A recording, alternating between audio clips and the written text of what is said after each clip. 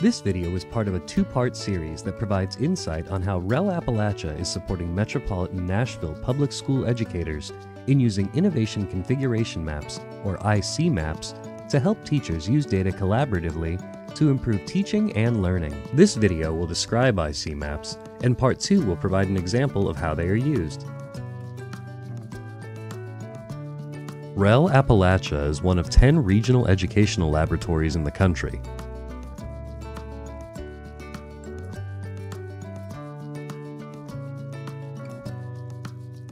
We serve education stakeholders in four states Kentucky, Tennessee, Virginia, and West Virginia.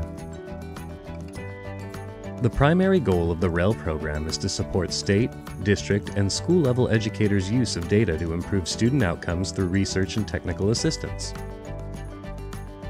All too frequently, educators are expected to implement new practices aimed at improving some aspect of the education system.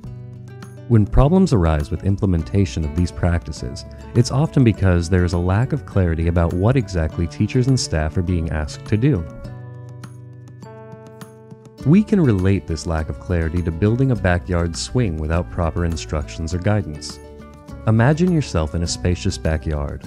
In the middle of the yard stands a large tree perfect for supporting your swing. Various materials are available to you. So, how do you proceed with building the swing? There are several ways one can build a swing with the available materials. In fact, all three options appear to be correct to the builder. However, there were no previous conversations or instructions to guide your task, so you're not sure which swing is ideal or acceptable. This is a similar feeling experienced by educators when asked to perform a new and innovative practice with minimal guidance. This is the basic concept that led the Research and Development Center for Teacher Education to develop the idea of Innovation Configuration Maps, or IC Maps.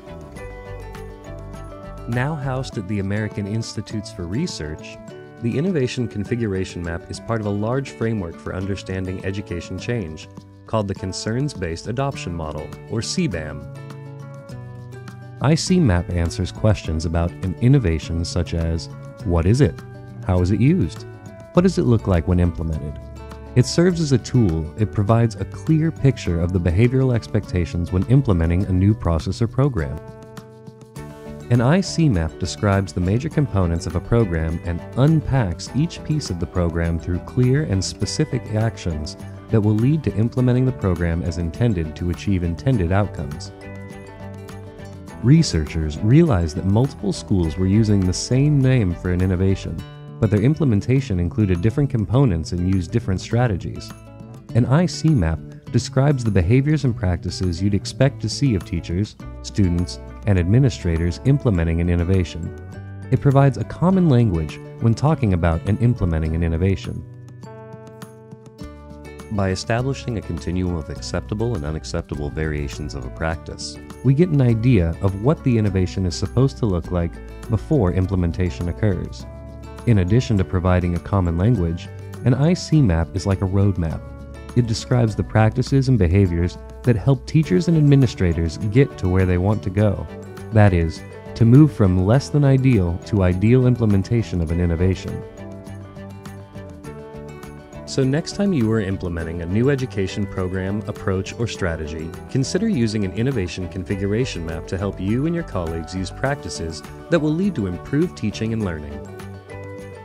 To learn more about IC Maps and how educators in Metropolitan Nashville Public Schools are using IC Maps, check out our second video in this series at relappalachia.org or contact Stephanie Wilkerson at stephanie at magnoliaconsulting.org.